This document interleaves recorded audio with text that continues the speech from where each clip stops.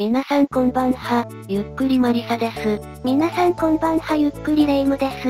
今日は大阪中崎町の猫喫茶猫の時間からお送りするのぜ。なんでまたそういうことに。一枚絵でゆっくり音声やってるとな、しまいに広告剥がされるからな。えへへ切るのだよ。元気ですか？元気があれば何でもできる。ほんとね、聞いたわよ。何でもできるのね。できるわよあたいってば最強。じゃあこの問題を解いてちょうだい。あうあう。てめえが無茶ぶりするから、チルノちゃんが発熱しちゃっただろマイナス38度だ。こっちが投資するじゃねえか。はいはい勝ち割り氷あげるから落ち着いて。ああ死ぬかと思った。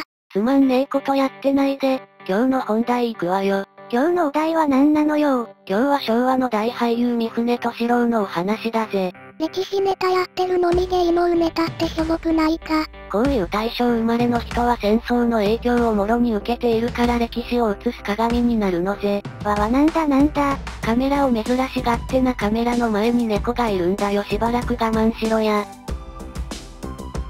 猫はあっちに行ったようね。チルノちゃんは知らないようだけど、三船さんは世界の映画史に残るような国際スターだからね。国際スターって言うとラッシャー木村とかアニマル浜口とか。国際違いよ。平成10年に三船さんが亡くなるんだけど、上電撃った人がさフランスのシラク大統領、スティーブンス、ピルバーグ、マーロン、ブランド・チャールストン、ヘストン、アラン、ドロン、ジョジ、フォスターとかすごいのよ。後にも先にもそういう人いないわね戦後の日本が苦しい時期に日本人の侍イメージ確立したのは三船さんだからね。三船さんは、中国のチンタオってとこで、大正9年に写真展の息子として生まれるのね。中国生まれなのね。やあ、中国人じゃないのか。その時代はチンタオは日本の疎開だったのよ。それで、19の時に、兵隊に取られるんだけど、大正10年から20年後って日中戦争とか色々やばい時期よね当時は鬼も泣き出す地獄の関東軍って言ってな新兵いじめがとんでもなかったらしい。いじめってどんなみんなでバカバカ言うとか単純に細かいことで言いがかりをつけてぶん殴るそうだ。挨拶の仕方とか態度とかさ。日本人って演出なとこあるからな三船さんの場合イケメンで目立つから特に。イケメンなのは仕方ないでしょ生まれつきなんだから。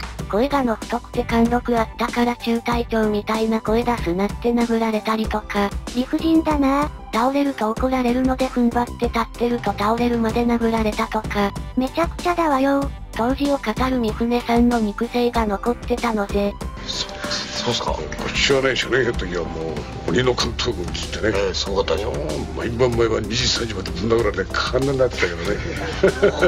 入った時に？一発にやつぶん殴られたって倒れなかったからね。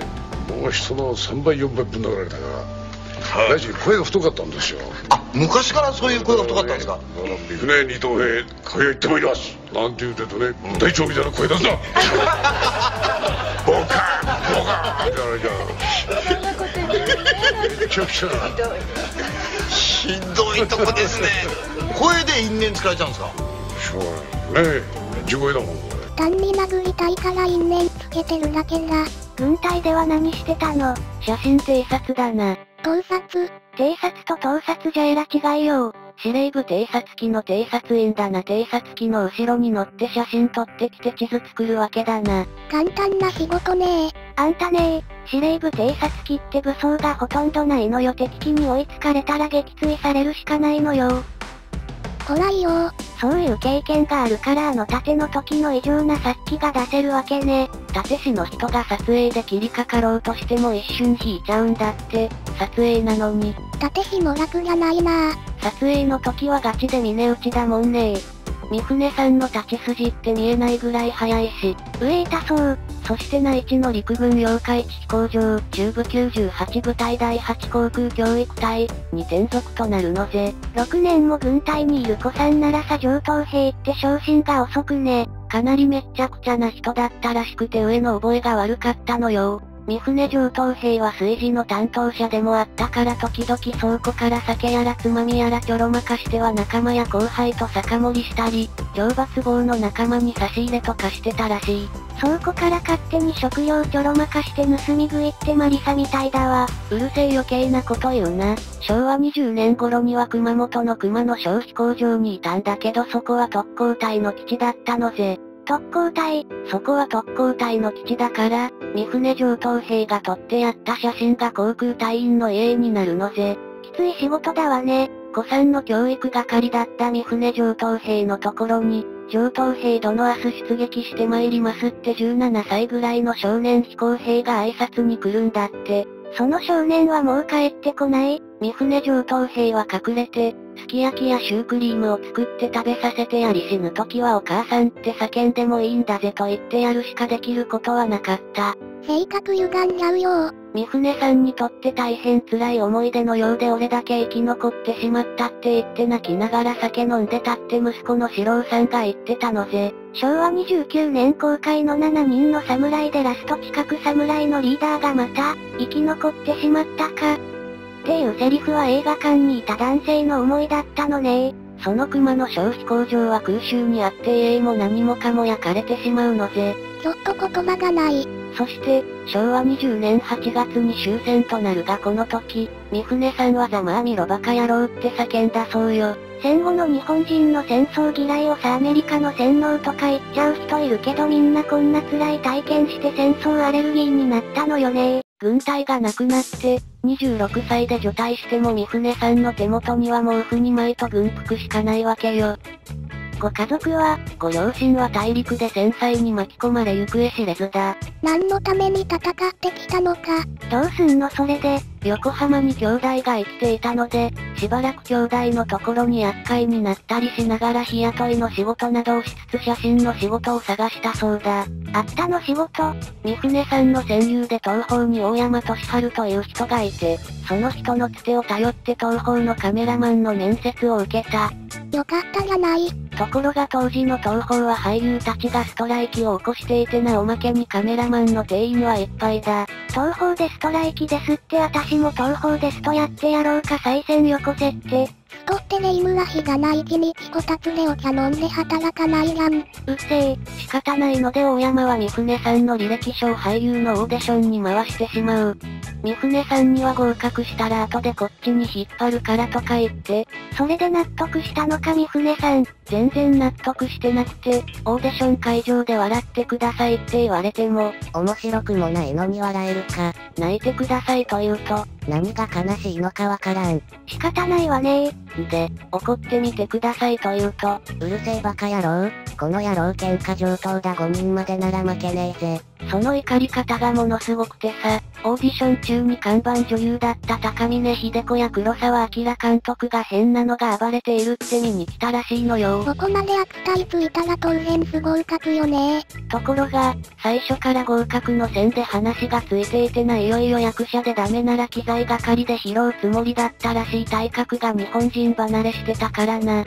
馬力はあるだろうと。ああカメラマン志望なのに役者にされてしまった。東宝ニューフェイスの一員になってもカメラの勉強はするけどあんまり役者の仕事に興味はなかったようで。それがまたどうして、軍隊帰りの強盗役を探していた谷口千吉監督が三船さんに惚れ込んで、直にスカウトに来たのよ。で三船さんは、面で飯食うなんて男のすることじゃねえ。と取り合わない。やあどうして？谷口監督は映画に出てくれたら背広を新着してやるって条件を出してきたの。背広それぐらいで、昭和20年当時は極端なもの不足で食べるものから何から不足していてボロを着てトタン屋根の小屋に住んでいるのが当たり前だったから、三船さん自身も軍服しか着るものがなかったのスーツといえば今の車より価値があったのぜ。映画の神様が嫌がる三船さんも俳優の世界に引っ張り込んだみたいな話だなそれだけの才能があるからねスピルバーグ監督が世界の多くの俳優が彼の真似をしようとしたが誰もできなかったって言ってるし、三船さんの真似した人ってクリント、イーストウッド、荒野の用心棒はセルジオ、レオーネが黒沢明の用心棒を丸パクリした映画でイーストウッドはこれのヒットで大スターにのし上がる。丸パクリしたイタリアの映画会社が東方に売り込みに来て丸パクリがバレちゃうんだよね。パスタらしいっていうか、マーロンブランドだろうが、ロバート・デ・ニーロだろうがイーストウッドだろうが飛行機で一緒になったらみんな三船さんに挨拶に来るんだってさ。あんた何気にものすごいこと言ってるぞ。事実なんだからしょうがねえべさ。でもさ、なんでまた嫌がってた俳優業にのめり込むのさ。銀霊の果てで当時42歳だった志村隆さんと共演したのさ。志村さんは由緒ある武家の出で人格者だったので19歳で親と生き別れになった三船さん志村さんを本当のお父さんって思っちゃったらしいの。で、この映画を見た黒沢明監督が二人を大変気に入って撮った映画が酔いどれ天使。ついに日本映画最強のチームが結成されるわけね。最初はイケイケで闇市を乗してたヤクザが結核で落ちぶれていく様を演じる三船さんとなんとか助けようとする医師役の志村さんで酔いどれ天使は大ヒットして三船さんはブレイクするのぜ。うわぁくっそイケメン。続く野良犬がガチで面白くてさみんなにも一度見てもらいたいわねそして、昭和29年には伝説の映画7人の侍が公開され世界中に衝撃を与える。7人の侍では志村さんは冷静沈着なリーダー島田官兵衛を演じ三船さんはちょっと3枚目も入ったファンキーな菊池を演じる。二人とも盛り上がってるとこ悪いけど時間だよ。